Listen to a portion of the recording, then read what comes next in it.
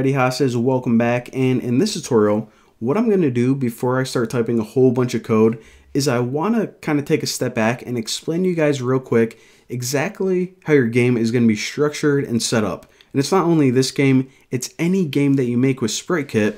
This is how it's kind of all put together. So whenever you're making a game, it's going to be broken up into a bunch of different screens. For example, you're going to have your welcome screen. You might have um, a jungle level. You might have a space level. You might have, I don't know, like the ending credits whenever the user beats the game. Now, each of these screens is technically called a scene in SpriteKit. It's pretty um, easy to follow along if you did any app development before. So, of course, each screen or scene is broken up into two parts your user interface and in SpriteKit, these are called the SKS files. They stand for SpriteKit Scene. So this is pretty much what the user sees. And if you scroll out, and you can zoom out by clicking this button in the bottom right, you see now that the welcome screen that we have is now just plain empty blank gray. So eventually we're going to add some buttons on here that are like, hey, welcome. Um, maybe another one that says view high scores, whatever. But this is pretty much one scene the interface, and the brains behind it.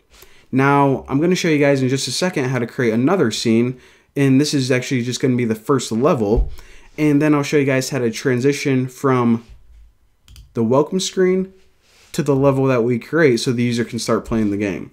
So again, real quick, one last time, each level or each screen that we create is going to consist of a user interface called SKS file and the brains behind it.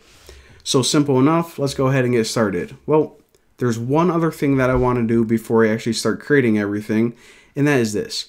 If you hop over to the game view controller, 99% of the time, I'm going to say stay out of this file. This is a lot of the background stuff that you really don't need to worry about.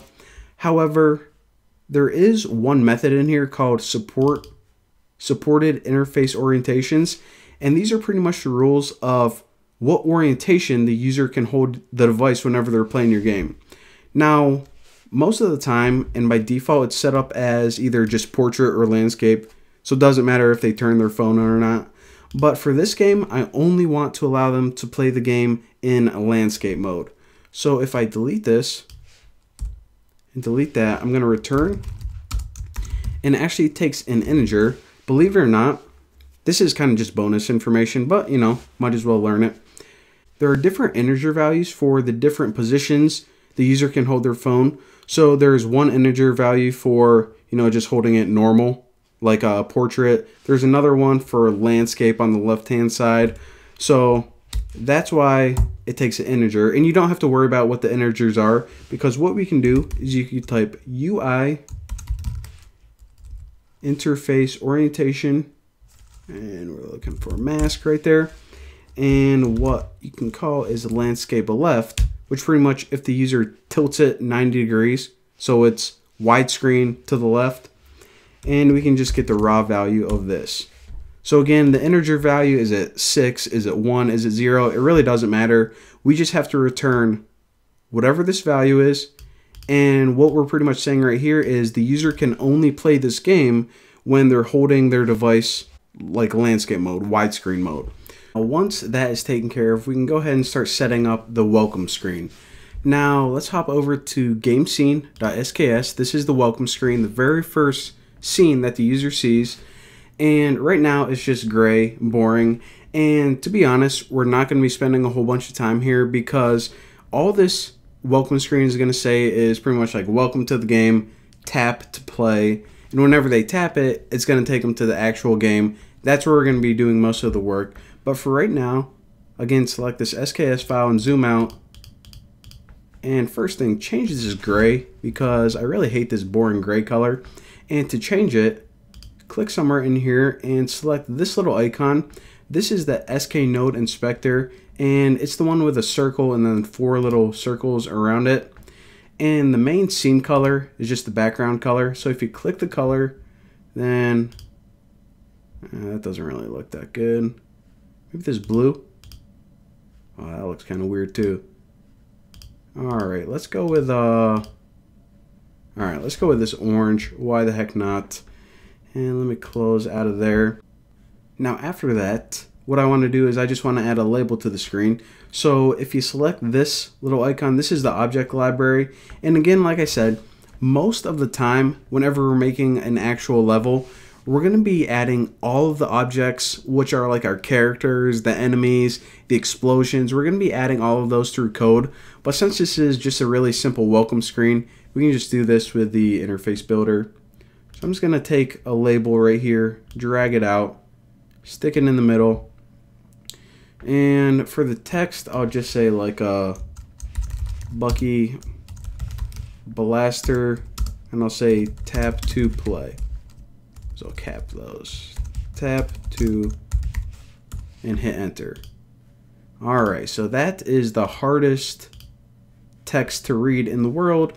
So the first thing I want to do is change, change the color to black. So again, select this node. And by the way, a node is pretty much any object on your screen. It can be a label, it can be your main character, it can be the bullets, the enemies, the th blocks that they're shooting at. Whenever I say node, I pretty much mean just an object on your screen.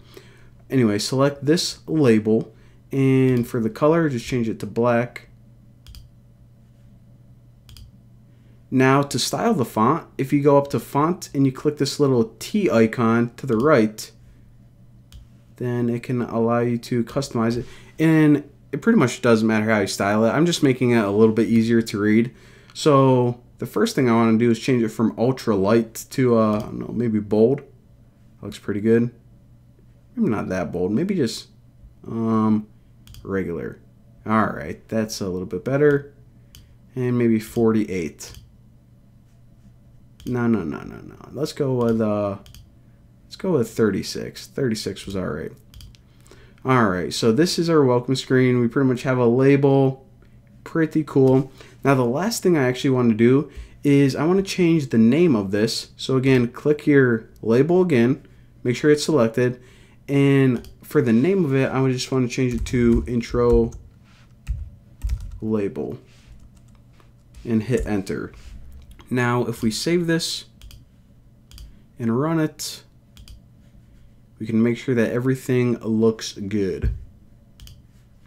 All right, and you saw that by default, remember whenever we first loaded that plain template project that we can click and it made spaceships, it was in portrait mode. But now since we set it only to return landscape mode, that's why it automatically popped a landscape orientation. Pretty cool. And by the way, it doesn't always do that. Sometimes your simulator is going to mess up and accidentally put it in portrait mode, but you can just twist it like uh, I showed you before. But right now, it looks pretty good. This is pretty much the dumbest welcome screen ever, but whatever. And of course, whenever we tap, nothing happens because we didn't go in the brains and add any functionality yet. So in the next tutorial, what I'm going to show you guys how to do is make that brand new level that we're actually going to be playing the game at. And I'll show you guys that you can actually add functionality to tap this and it'll add a cool transition and take you to that level. It's going to be awesome. So, well, see you then.